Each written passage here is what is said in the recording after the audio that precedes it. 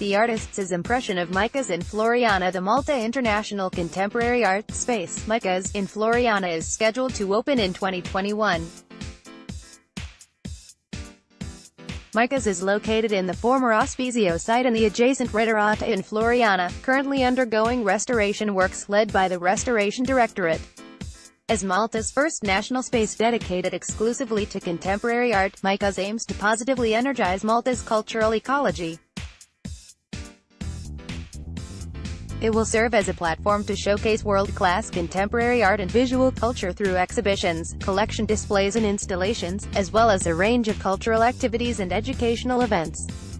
Micas will play a pivotal role in Malta's cultural development as an active player on the world stage, connecting communities and audiences whilst also promoting internationalism and cultural diplomacy. IPO Studio, a Florence-based architecture firm specializing in civic architecture are designing the space, and will add another layer to the site's rich history. The central concept is to bring together two key elements, the historic fabric and landscape of the fortifications with the functions of a contemporary art space. Giovanni Barbara's iconic skew arch, known as the Arco Barbara, will be incorporated into the project, which overlooks the MSIDA part of Marsamxett Harbor. Micas will not only become a showcase for local contemporary artists, but it will also engage with international artists and institutions to present groundbreaking works by acclaimed names from all over the world.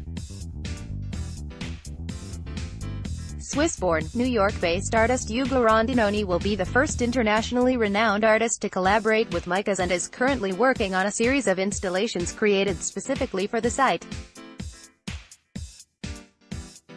October 2018, Micas will be launched officially through a program of events which will include the unveiling of Ugo Rondinone's project, a series of talks about contemporary art with leading international and local experts in the field and an audiovisual exhibition that will explain the history of the Ospizio and its transformation into Micas.